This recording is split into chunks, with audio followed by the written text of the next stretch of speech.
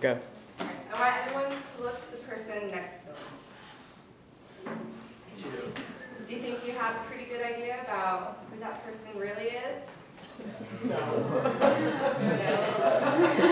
Bad people are truly are pretty reclusive, however, they are also aggressive and feel that everyone is out to get them somehow. I used to be one of these people, but have long since changed my way. This was a response from the audience analysis questions. So again, think about, do you really know the person next to you? I think it's also very important that we all know the different aspects of school violence, which brings, brings me to my two points, profiling violent people and simple solutions to make our schools safer. Now, Martin Luther King once wrote, I have a dream that my four little children will one day live in a nation where they will not be judged by the color of the skin, but what, by the content of their character. Now, I know that everyone in here at one point has probably been judged, or we have, you know, judged someone else before we even get to know these people. Um, now, my first point, profiling violent people. Um, I'm going to focus on the Columbine shootings and then two suspects because they left a big glimpse of like how they felt through notebooks, journals, and their yearbooks. Um, as a child, Dylan Klebold, one of the suspects, he was, you know, he was a Boy Scouts picture of his Little League team. Um, seems like a normal kid. His parents said that he had, was a normal kid gave no indication of a violent nature, uh, but he was very shy. Um, on the cover of Klebold's journal is written, fact, people are so unaware. Well, ignorance is bliss, I guess. That would explain my depression. He also wrote about, as he described a point in his life, as a weird time, weird life, weird existence.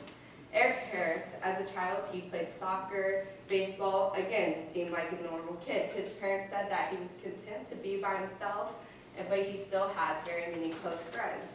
Harris also kept a journal and wrote about how much he hated mankind and how much he loved his anger. Both of them wrote about uh, not fitting in, not being accepted, and having really low self-esteem. They plot against all the persons that they thought had offended them or not accepted them. And most of these people didn't even know that they had done anything to upset these two. Now, even though the shootings at Columbine and Virginia Tech were tragic, such incidents can never be completely prevented. Which brings me to my next point, simple solutions to make our schools safer. According to many college and university officials, maximum security is neither possible nor desirable in a setting built on openness.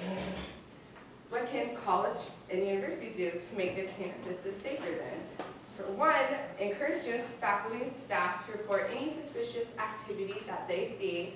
Two, train faculty how to spot signs of depression. And three, provide enough training on campus police and security personnel. Now, what can we do to make our campus safer? Be a friend. Before you judge someone, get to know them. If you see someone that looks like they need help, you know, go up and help them out. I know this one time in high school that there's a girl in the bathroom I've seen a couple times at school. She was crying. I just went up to her, was like, are you okay? Do you want to just talk? And you know, that really helped her a lot. And also, smile. Smile to people. Open a door for someone, you know, help others out. It makes a big difference, even though they're just little simple things. In conclusion, I'd like to sum up why it's important to be aware of school safety and take steps to make our school safer. For my two main reasons, profiling violent people and simple solutions to make our school safer. I also want to say that schools are pretty safe. The media loves crime and violence. Ter terrible things are happening all the time. We all know they're happening and they're happening much more often.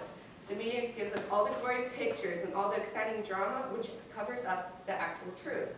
ABC News reported that shooting incidents are awful, but unusual.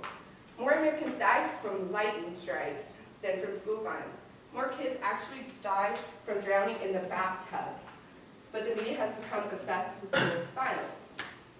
We will never be able to fully prevent every act of violence. Instead of spending tons of money on uh, defenses, we should use our resources on uh, directing them toward prevention. Also want to end by saying get the lights. Today, give a stranger one of your smiles. It might be the only sunshine he sees all day. Thank you.